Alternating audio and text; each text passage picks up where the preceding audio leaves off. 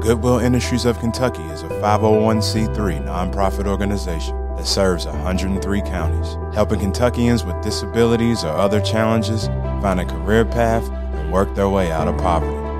We're here when job seekers have taken a hard look at who they are, where they want to go, and what they want to be. We are committed to helping each of them find their way. Goodwill believes in giving people a hand up, not a handout. A handout is a temporary fix Goodwill wants to help people bring long term change to their lives. Opportunity is everything. Many people want to work, but they need a chance to show what they can do.